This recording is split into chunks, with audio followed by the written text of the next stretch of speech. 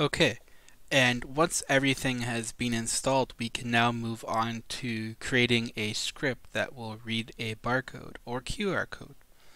So for now, I'm just going to exit terminal. I'm going to go to programming.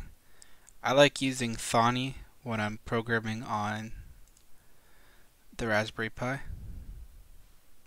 Takes some time to open, but here it is. So let's create the script for this.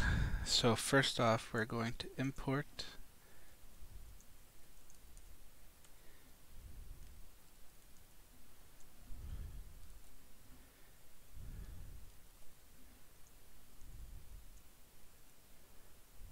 Alright. So here we imported uh, CV2, which is uh, OpenCV and we're also bringing in the PyZBar library. In this case, I want the specific function decode, which will use to decode any found barcodes or QR codes. Now I'm going to initialize uh, two data points, so barcode data.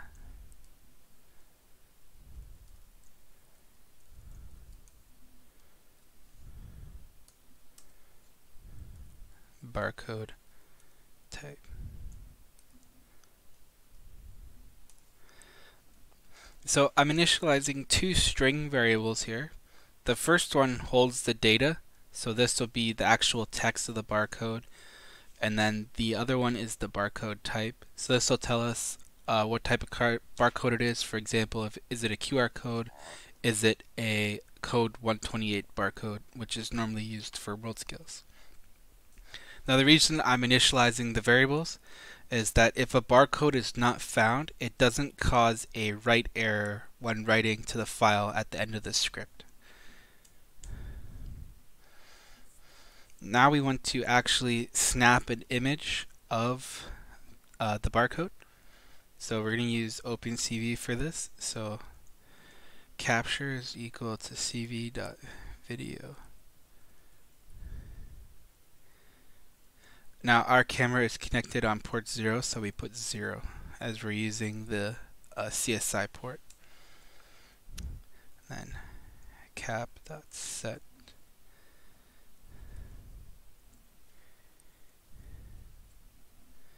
So this is my width.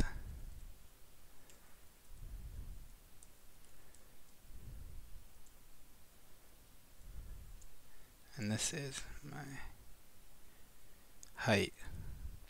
Here we're just setting the uh, frame size of the picture that we want to take. You can of course increase this to get a higher resolution, but it, it will take longer to execute depending on the size of the image that you take. Next we want to assign, actually snap the image. So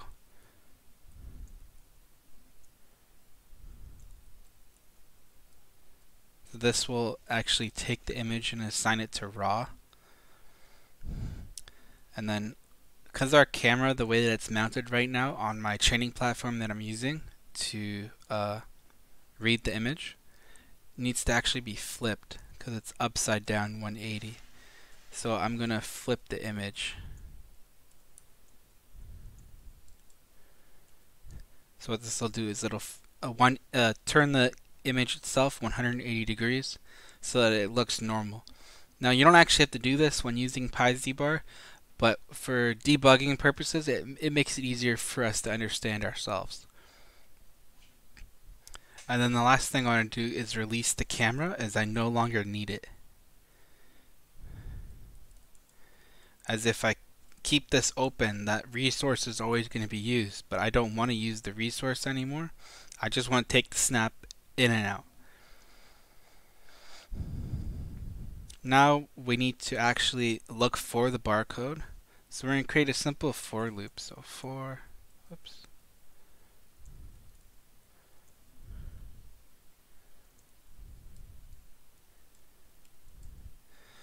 So what this does is it says for the amount of barcodes, so like found objects inside decode. So what happened is the raw image takes a picture, But if there are multiple barcodes inside that image, it will find all of them. So it'll loop through all of the found barcodes, QR codes, whatever you have inside the image. However, I only want the last uh, barcode that's found. So by creating the for loop, it allows me to loop through to the last one that's found. And inside here, I'm going to now assign the data. So barcode data is equal to barcode dot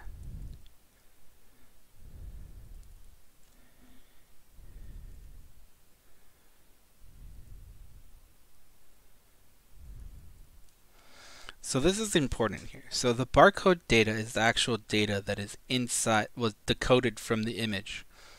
But we also need to break that data down into an acceptable format. So we're doing decode as UTF-8. This puts it into a string format that makes it easier for us to comprehend and understand based on the raw data that is here.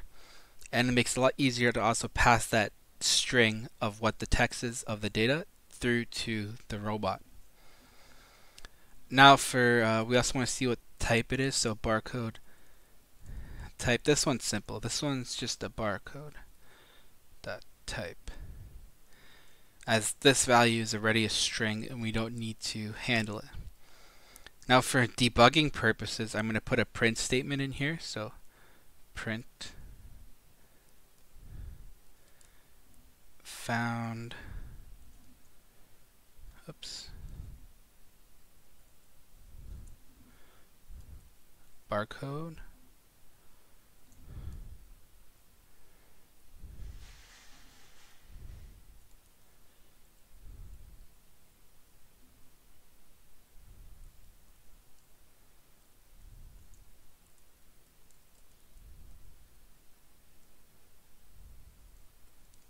Alright.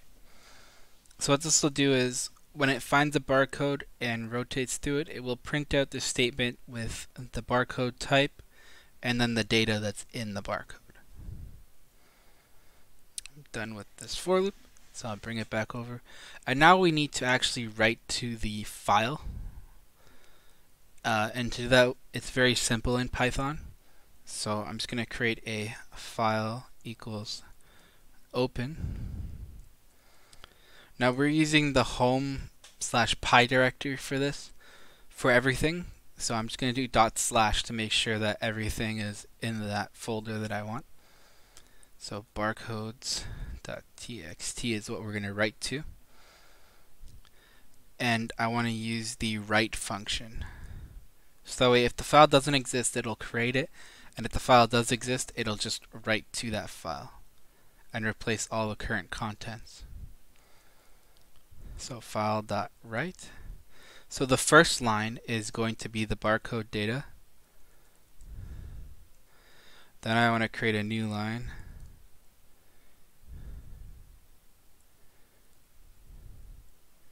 Oops. Now I could do this in this line, however I want to separate this so it makes it easier for debugging or if I want to add an extra uh, different type of line ending here if required. So and then I'm going to write the second line, which is the type. And then now that I've written both, I'm going to close the file as it needs to close so that my listener script can open it and read it. And by closing it, it also saves the file which will be read as, oh, the file is being modified so that we can now read that file as there's a change and do something. Alright, so that's the simple script. Let's save this. So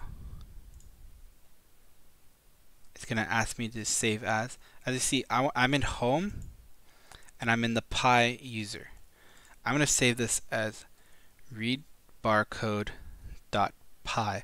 It's important to put the .py designation here for the file type. Otherwise, there will be an issue when we try and run this later. So we're going to OK. It's now saved. I can open up my file system. and I can see that in my home Pi user there is the read barcode.py file. So let's simply test this now.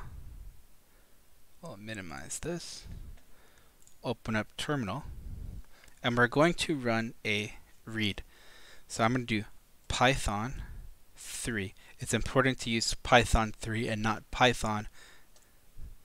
And then we're going to do read barcode dot. Now my camera is set up in a way that I am looking at the barcode. So now if I hit enter, it'll run the script. And you can see it came back with found QR code, barcode, and then the data here was it QR code text. Now the text of my barcode is QR code text.